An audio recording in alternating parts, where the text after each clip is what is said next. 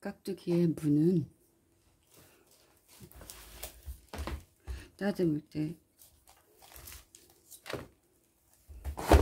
이런 거를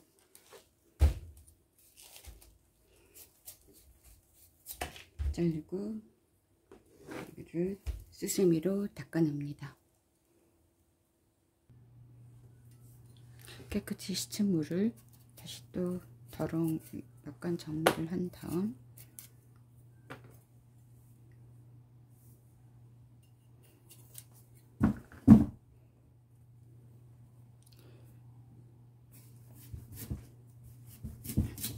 이렇게 잘라요.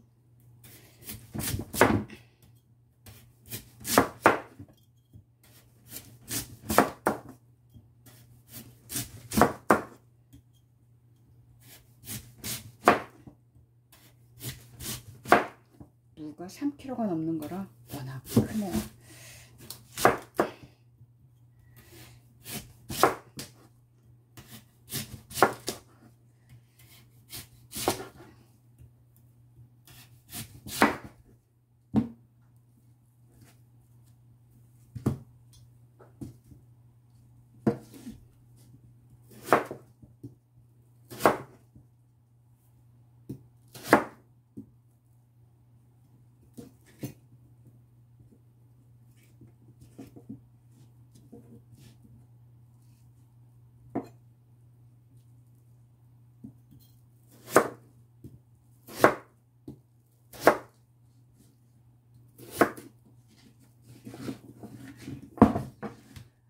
이렇게 썰어요.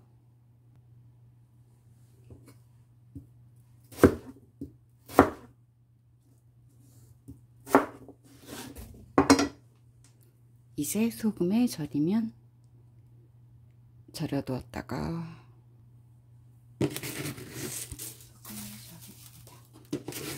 소금에 절여요.